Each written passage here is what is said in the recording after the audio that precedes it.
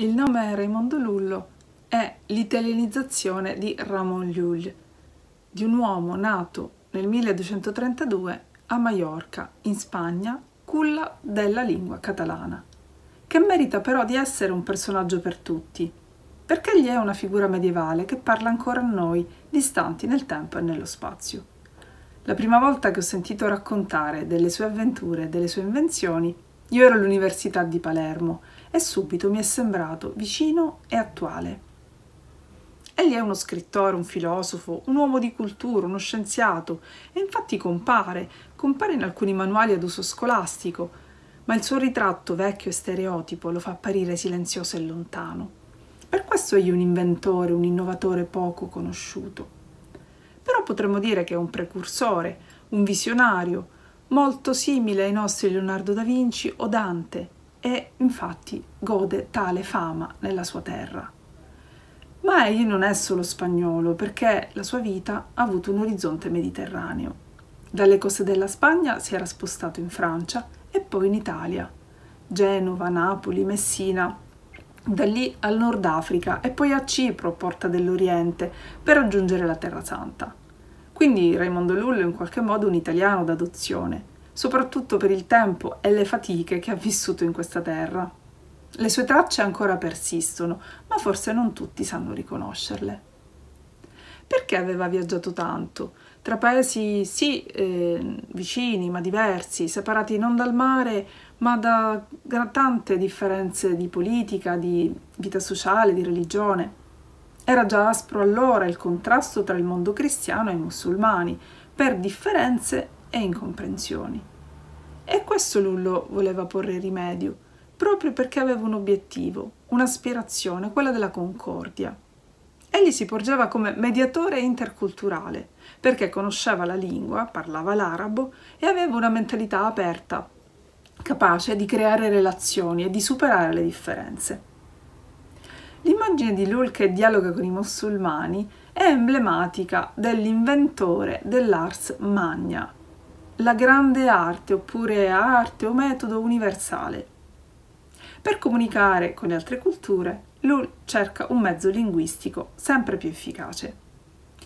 Una lingua che sia universale non solo come grammatica semplice, ma anche come termini, non solo come parole, ma come idee corrispondenti, che metta a nudo, insomma, le radici comuni.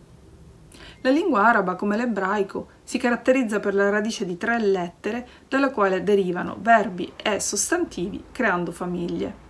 Anche le altre lingue naturali hanno qualcosa di simile, ma lui voleva di più. Voleva un linguaggio formale, facile da imparare, da usare e anche facile da scrivere. Una delle immagini che più ricorre per la sua peculiarità è la ruota combinatoria. Così come beato tra le ruote, così fu chiamato in un articolo del 2016 sul Sole 24 ore. E in effetti le ruote, queste tre ruote con perno centrale, sono uno strumento non solo visivo, ma meccanico, attraverso il quale Lullo mostra le numerosissime combinazioni che possono crearsi tra gruppi di lettere. Tra le lettere, ad esempio, B, C, D o B, D, F, E o F o altre, si formano frasi minime che sono le stringhe della lingua formale, come le parti creano, le parti della radice creano le lingue naturali.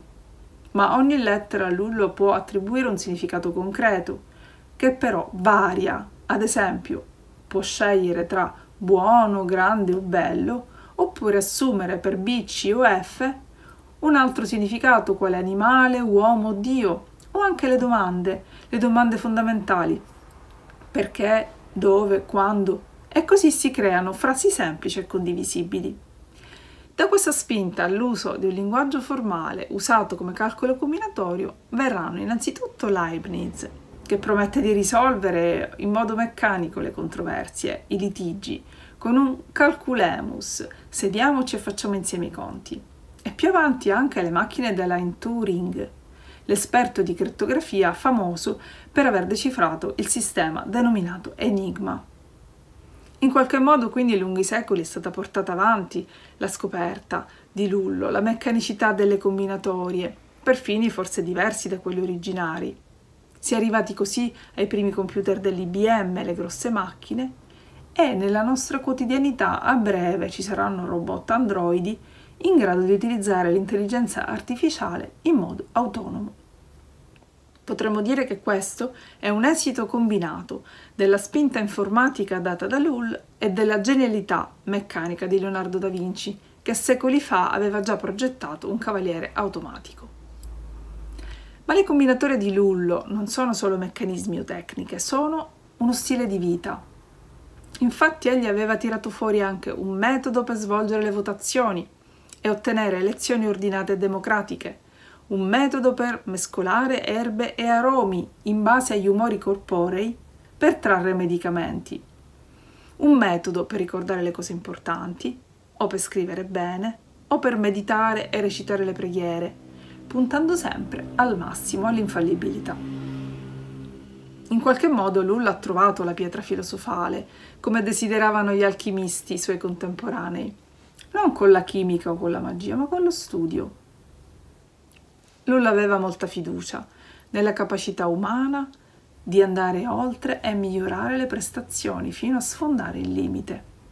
E questo valeva sia per il soggetto singolo, ma anche per la comunità, con una visione ampia, al di sopra della città o dello Stato, una visione potremmo dire globale, e dando spazio per un verso alle scienze da studiare e rendere chiare, ma per l'altro verso dando spazio alle relazioni umane all'atteggiamento di apertura tipico dell'amore cristiano, aperto alla natura, all'invisibile e al trascendente. Di entrambi gli aspetti ancora si sente l'eco, delle sue invenzioni teoriche e del suo agire in prima persona, con apertura senza riserve verso l'altro. Un eco che dall'antichità medievale fino ad oggi risuona e molti probabilmente non sanno che all'origine c'è Raimondo Lullo.